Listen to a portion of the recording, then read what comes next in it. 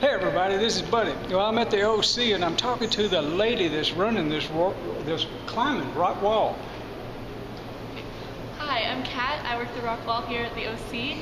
So it's going to be $3 for OC members and $5 for non-OC members. So come and join us. I'm here, let's see, Wednesday and Friday, 5 to 9, and Saturday, 1 to 5. Hope to see you guys here.